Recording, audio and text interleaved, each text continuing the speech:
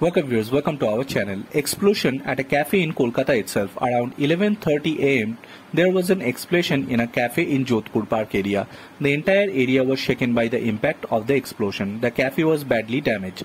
The shutter breaks. According to the police sources, one worker of the cafe was injured. The entire cafe caught fire due to the explosion. One fire engine went to the spot and controlled the fire. It is not clear what caused the explosion. Initially, it is believed that the gas cylinder may have caused the explosion due to a leakage or whether there is any other reason behind it, the fire brigade and police are investigating. Nearby, shopkeepers say that the cafe had just opened in the morning. There were only one or two workers in the cafe then. There were no customers. Suddenly, the whole area shook with a loud sound. The impact of the explosion was so great that the nearby shops also shook. They ran quickly and saw the cafe had collapsed. Everything has burned inside. A worker was trapped inside. Efforts were made to rescue him quickly. Police firemen came to the spot after receiving information. The injured were rescued, but what caused the explosion, there is still confusion. Bureau report.